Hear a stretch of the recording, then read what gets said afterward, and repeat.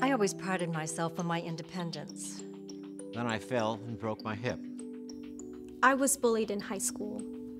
I never planned to be a single dad.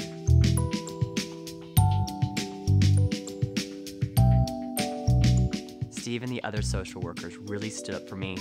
Juan's support helped me get my independence back. Denise changed our lives. Social workers really do stand up for others.